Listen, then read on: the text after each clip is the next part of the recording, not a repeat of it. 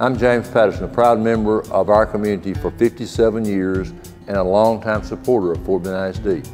Over the years, I've seen our schools grow and we've had the privilege to have our children, grandchildren, and great-grandchildren be a product of this thriving school district. But I've also witnessed that Fort Bend ISD is competing with neighboring districts to attract and retain educators and staff.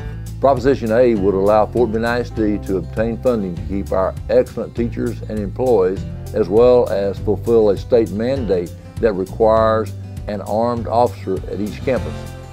Senior citizens, it's important to understand that if Prop A passes, there would be a zero dollar impact on property taxes for those age 65 and over or for those who have a disability exemption and have not made improvements to their home.